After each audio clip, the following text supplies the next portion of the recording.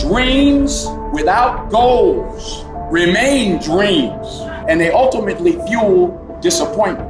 Goals on the road to achievement cannot be achieved without discipline and consistency.